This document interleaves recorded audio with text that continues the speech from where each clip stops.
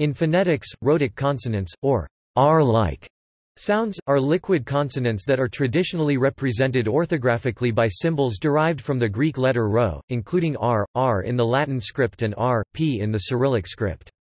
They are transcribed in the International Phonetic Alphabet by upper or lower case variants of Roman r, r, r, this class of sounds is difficult to characterize phonetically. From a phonetic standpoint, there is no single articulatory correlate manner or place common to rhotic consonants. Rhotics have instead been found to carry out similar phonological functions or to have certain similar phonological features across different languages. Although some have been found to share certain acoustic peculiarities, such as a lowered third formant, further study has revealed that this does not hold true across different languages. For example, the acoustic quality of lowered third formants pertains almost exclusively to American varieties of English. Being R-like is an elusive and ambiguous concept phonetically and the same sounds that function as rhotics in some systems may pattern with fricatives, semivowels or even stops in others. For example, t in American English, water is often pronounced as an alveolar tap, a rhotic consonant in many other languages. Some languages have rhotic and non-rhotic varieties, which differ in the incidence of rhotic consonants. In non-rhotic accents of English, r is not pronounced unless it is followed directly by a vowel.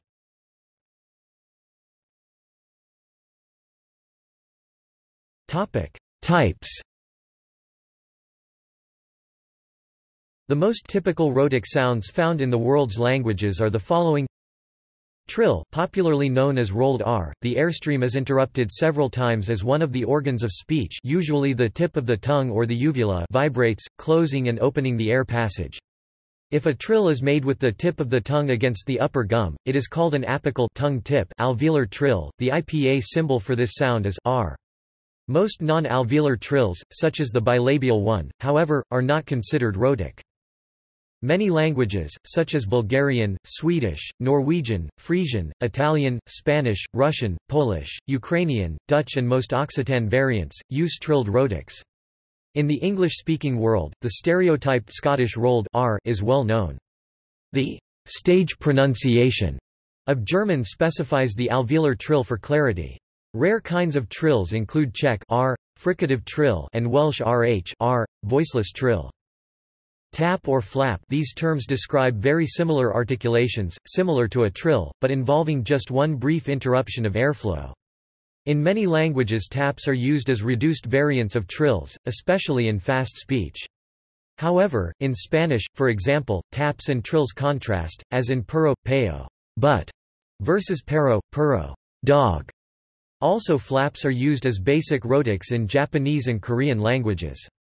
In Australian English and some American dialects of English, flaps do not function as rhotics but are realizations of intervocalic apical stops, t, and, d, as in rider and butter.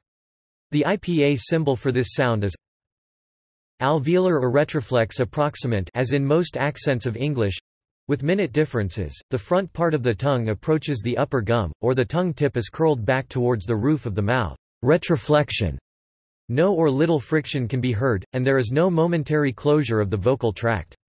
The IPA symbol for the alveolar approximant is, and the symbol for the retroflex approximant is there is a distinction between an unrounded retroflex approximant and a rounded variety that probably could have been found in Anglo-Saxon and even to this day in some dialects of English, where the orthographic key is R for the unrounded version and usually WR for the rounded version these dialects will make a differentiation between right and right.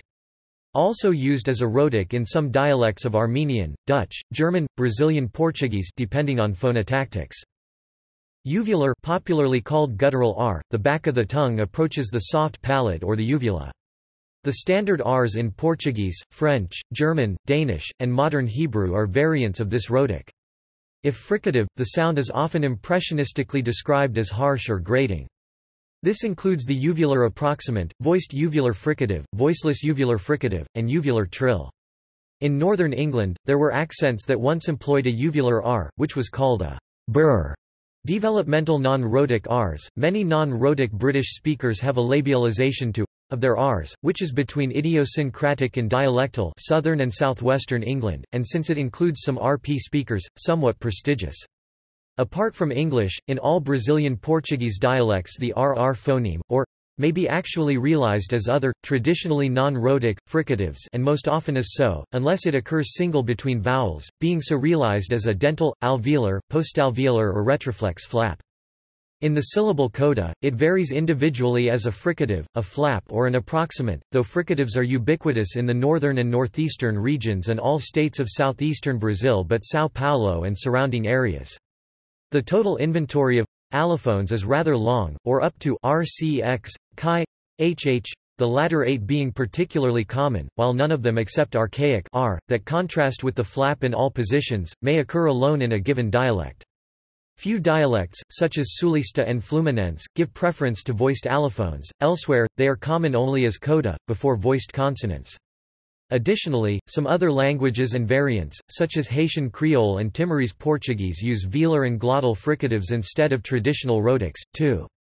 In Vietnamese, depending on dialect, the rhotic can occur as z or in modern Mandarin Chinese, the phoneme tilde is represented as r in Hanyu pinyin, resembles the rhotics in other languages in realization, and is descended from the late Middle Chinese initial r. Thus, it can be considered a rhotic consonant.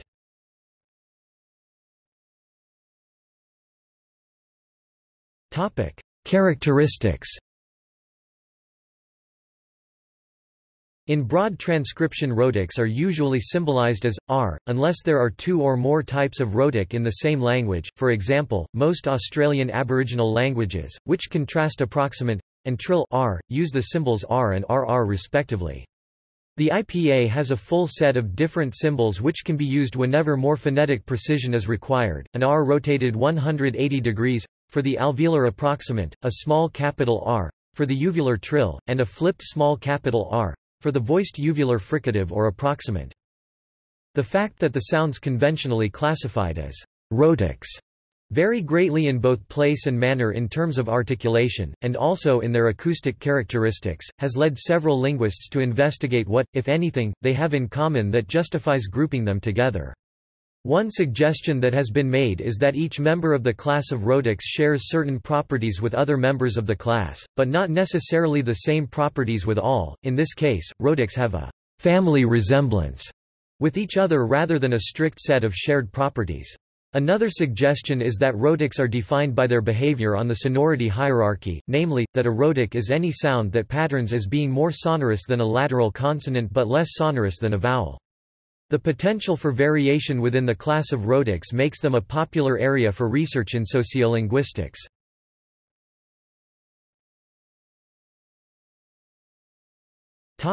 Variable rhoticity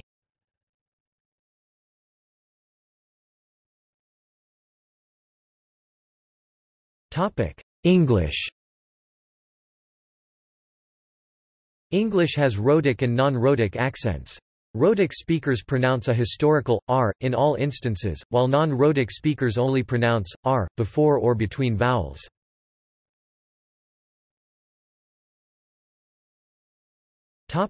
Other Germanic languages The rhotic consonant is dropped or vocalized under similar conditions in other Germanic languages, notably German, Danish and Dutch from the eastern Netherlands because of Low German influence and southern Sweden possibly because of its Danish history. In most varieties of German with the notable exception of Swiss Standard German, r, in the syllable coda is frequently realized as a vowel or a semivowel, or in the traditional standard pronunciation, this happens only in the unstressed ending er and after long vowels, for example besser bees, ser z. In common speech, the vocalization is usual after short vowels as well, and additional contractions may occur, for example dorn dn tilde dn, heart ha t tilde ha t. Similarly, Danish, r, after a vowel is, unless followed by a stressed vowel, either pronounced more, mother, no, nuring, nourishment, ne or merged with the preceding vowel while usually influencing its vowel quality, a r, and r, or r, are realized as long vowels a and, and, r, r, and, rr, are all pronounced, lober runner, lo stroke b, Soren Kierkegaard personal name SNKI.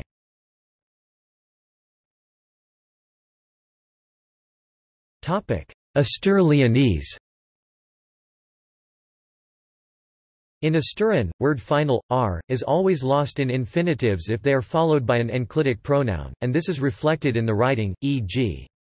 The infinitive form dar, dar plus the third plural dative pronoun, yos, da yos da os give to them or the accusative form, los, dalos da los give them. This will happen even in southern dialects where the infinitive form will be dare, da re, and both the, r, and the vowel will drop da yos, not asterisk dare yos. However, most of the speakers also drop the rhotics in the infinitive before a lateral consonant of a different word, and this doesn't show in the writing. E.g. dar los dos da los os give the two things. This doesn't occur in the middle of words. E.g. the name Carlos Carlos.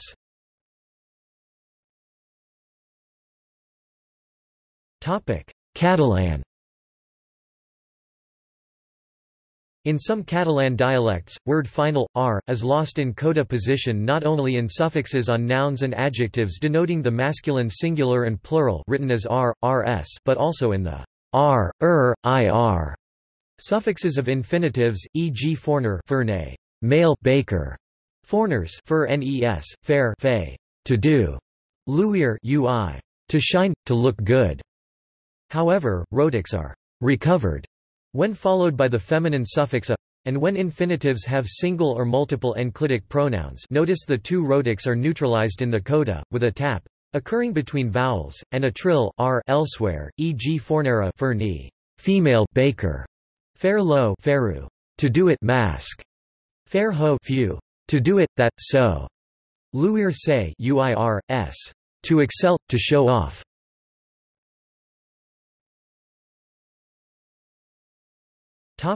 French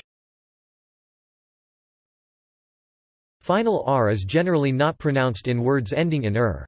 The r in parce because is not pronounced in informal speech in French.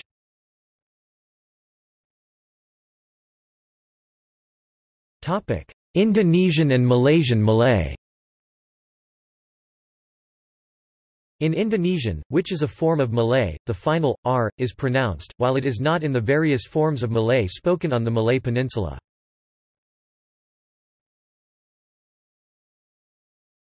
Khmer Historical final, r, has been lost from all Khmer dialects but northern.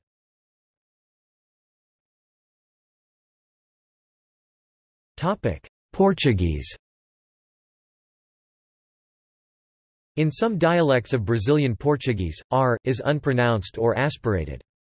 This occurs most frequently with verbs in the infinitive, which is always indicated by a word final, r. In some states, however, it happens mostly with any, r, when preceding a consonant. The carioca accent from the city of Rio de Janeiro is notable for this.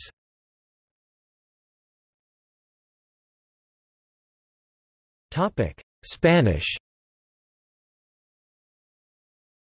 Among the Spanish dialects, Andalusian Spanish, Caribbean Spanish descended from and still very similar to Andalusian and Canarian Spanish, Castuo the Spanish dialect of Extremadura, Northern Colombian Spanish in cities like Cartagena, Monteria, San Andrés and Santa Marta, but not Barranquilla, which is mostly rhotic and the Argentine dialect spoken in the Tucumán province have an unpronounced word final, r, especially in infinitives, which mirrors the situation in some dialects of Brazilian Portuguese. However, in Antillean Caribbean forms, word final, r, in infinitives and non-infinitives is often in free variation with word final, l, and may relax to the point of being articulated as, i.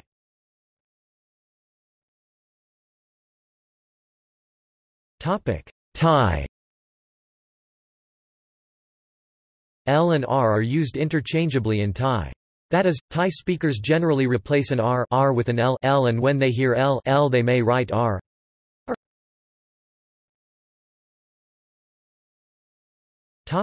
Turkish Among the Turkic languages, Turkish displays more or less the same feature, as syllable final, r, is dropped. For example, it is very common to hear phrases like, gidiyo, instead of gidiyor, in spoken Turkish. In some parts of Turkey, e.g. Kastamonu, the syllable final, r, is almost never pronounced, e.g. gidiya, instead of gidiyor, meaning, she, he is going. guide instead of gidder, meaning she, he goes. In guide, the preceding vowel e is lengthened and pronounced somewhat between an e and a.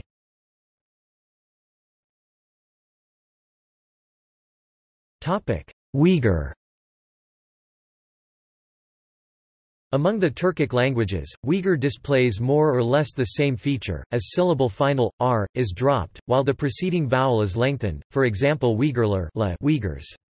The, r, may, however, sometimes be pronounced in unusually careful or pedantic speech. In such cases, it is often mistakenly inserted after long vowels even when there is no phonemic, r, there.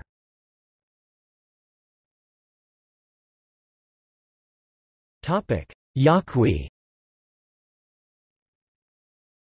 Similarly in Yaqui, an indigenous language of northern Mexico, intervocalic or syllable final, r, is often dropped with lengthening of the previous vowel, Paricio becomes pa-cio, Saguaro becomes sawaho.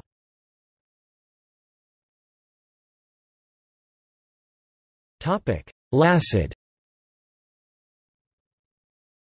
Lacid, whose exonyms in various literature include Lashi, Lachik, Lechi, and Laki, is a Tibeto-Burman language spoken by the Lacid people.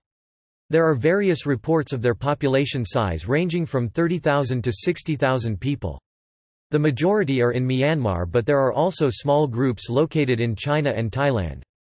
Noftz 2017 reports finding an example of a rhotic alveolar fricative in Lacid while doing phonological research at Payap University in Thailand in 2015. He was not able to continue his research and expressed the need for further examination of the segment to verify his results. It is postulated that the segment is a remnant of the rhotic fricative in Proto-Tibeto-Burman.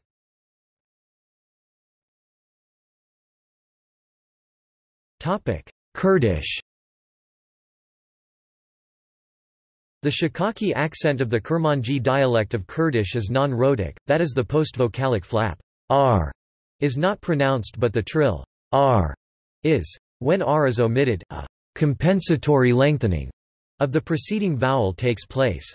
For example, sar cold is pronounced sa tor net is pronounced tor, with a trilled r. Shikaki retains morphological syllables instead of phonological syllables in non-rhotic pronunciation.